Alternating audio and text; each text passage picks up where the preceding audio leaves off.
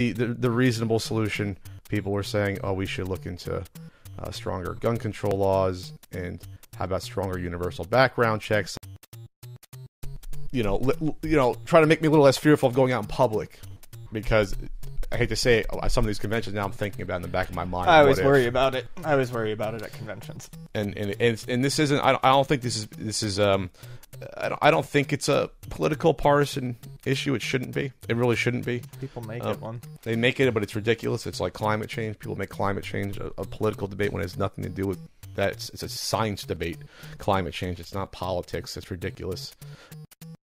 And the NRA is is at least partially backed by Russia at this point. It's almost a foregone conclusion.